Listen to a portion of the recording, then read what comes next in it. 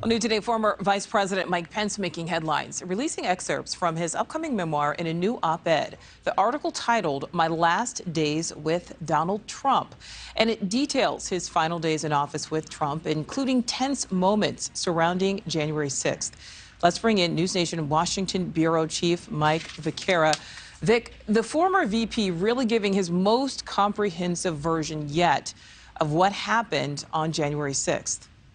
And that's right, Nichole. And I don't think we can ignore the fact that this happens, you know, less than 24 hours after the polls closed on what was really a momentous midterm election and one that saw Donald Trump, the former uh, president under whom uh, Vice President Pence served, uh, seeming to be vulnerable for the first time in quite some time uh, within the Republican Party as the kingmaker.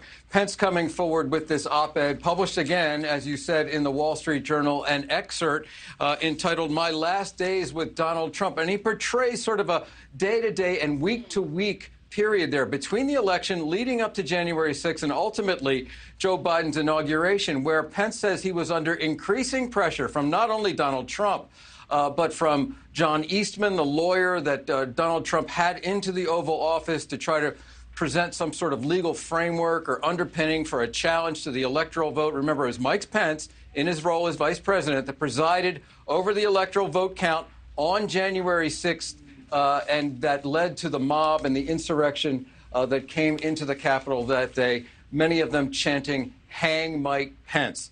Uh, Pence, as part of this op ed, uh, recounts a conversation he had, a telephone conversation on that morning, on January 6th, when Donald Trump, President Trump, then President Trump, called him.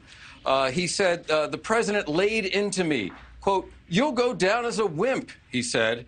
If you do that, I'll make, I made a big mistake five years ago, referring to when he chose and selected Mike Pence as his vice presidential running mate.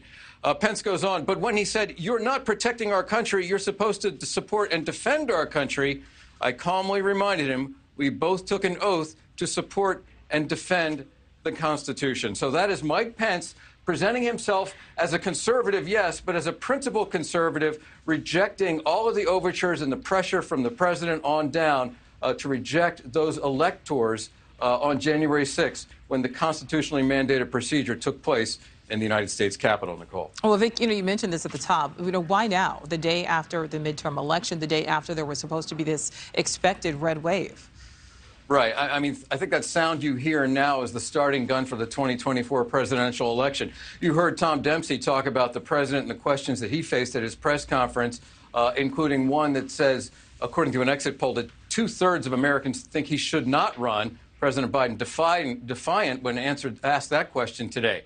Uh, but Mike Pence now sensing the moment, jumping out in front of this parade uh, when Donald Trump appears to be vulnerable. His grip on the Republican Party is weakening. Mike Pence understands that the people who charged into the Capitol and disrupted that constitutionally mandated pro uh, process the MAGA, MAGA, Republicans that Joe Biden's been talking about during the campaign, they are never going to be supporters of Mike Pence. Mm -hmm. So Mike Pence uh, is making a play for uh, or making a gamble that the pendulum is going to swing back the other way in the Republican Party, and traditional conservatives like Meg Pence will once again fall into favor, giving him a chance two years hence in the presidential elections. Nichole? All right. Our Washington Bureau Chief, Mike Viqueira, thank you. Thank you for watching. Go to newsnationnow.com to find News Nation on your television provider. And don't forget to click the red subscribe button below to get more of News Nation's fact driven, unbiased coverage.